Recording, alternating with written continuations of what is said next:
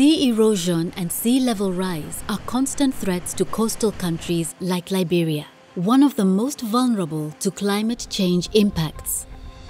We're in the horse, we're in the horse when seeking, a king with force that fair bar because of the things they see took away.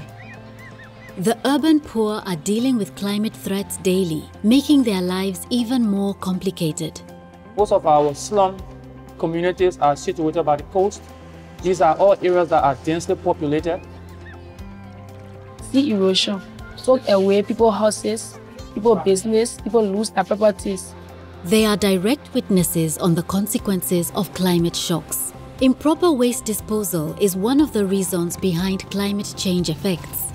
We observed that waste at the time was not properly handled, and we saw the establishment of lots of illegal dump sites. So those waste contain methane gas that are easily dispersed into the environment, thereby impacting the climate.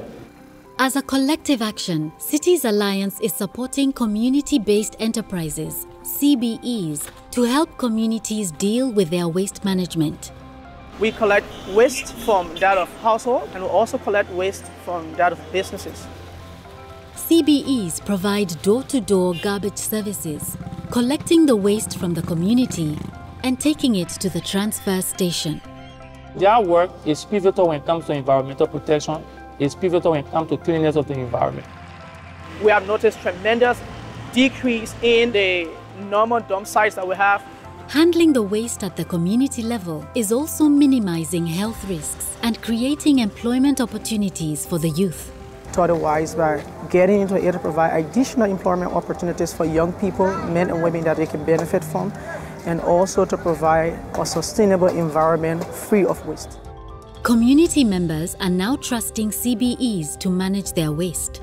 Individuals in the community are willing to even subscribe to the services and they are also recommending their, their neighbors. And with proper waste management, communities can hope to see a day where climate change shocks are no longer a reality. And it's stop and everybody will relax.